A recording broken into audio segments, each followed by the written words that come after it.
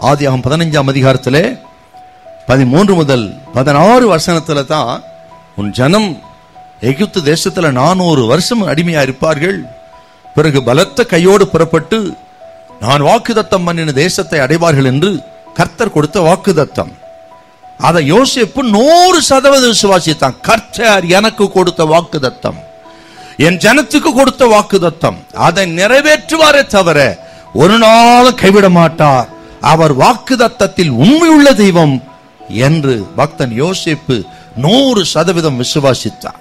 ஆதியாக நாற்பத்தி ஒன்பதாம் அதிகாரத்துல இருபத்தி ஒன்பது முதல் முப்பத்தி மூணு வருஷத்தை வாசித்து பார்த்தீங்கன்னா அவனுடைய வாஞ்சை அவன் விருப்பமெல்லாம் காணான் தேசம்தான். ஆகவே தான் சொன்னான் அதாவது என் எலும்புகள் வைக்கப்பட்ட சவப்பெட்டி இங்கே இருக்கப்படாது. காணான் தேசத்தை கொண்டு போய் அங்கே என்னை அடக்கம் பண்ண வேண்டும். அந்த சவப்பெட்டியை பார்க்கும் பொழுதெல்லாம் எங்களுக்கு ஒரு தேசம் உண்டு. எங்களை நடத்துகிற ஒரு தெய்வம் உண்டு. நாங்கள் எத்தனை வருஷம் ஆனாலும் சரி அங்கே போய் அதை நாங்கள் சுதந்தரிப்போம் என்று விசுவாசிக்கும்படி தேவனால் ஏற்படுத்தப்பட்டது தான் இந்த யோசிப்பின் சவப்பெட்டி.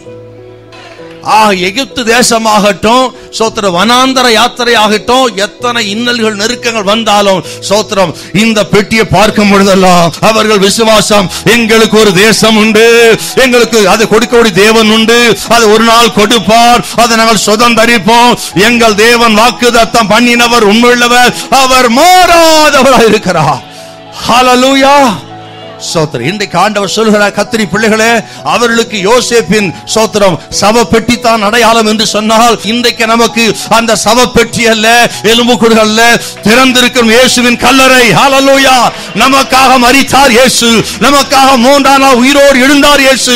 இன்றைக்கு அந்த கல்லறை பலஸ்தீனா தேசத்தில் திறந்திருக்கிறது.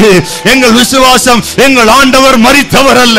மூன்றாம் நாள் உயிரோடு எழுந்த தெய்வம் அவர் மறுபடி வர போகிறார் எத்தனை நெருக்கங்கள் இன்னல்கள் போராட்டங்கள் வந்தாலும் சரி கர்த்தர் எங்களை கைவிட மாட்டா. கடைசி வரை நடத்துவா. எங்கள் யாத்திரை வெற்றியா இருக்கும். எங்கள் பயணம் வெற்றியா இருக்கும். ஓ ஒரு நாள் நாங்கள் தோற்று போக விட மாட்டா. எங்க விசுவாச திறந்திருக்கும் கல்லறை. உயிர் திறந்த இயேசு. ஹalleluya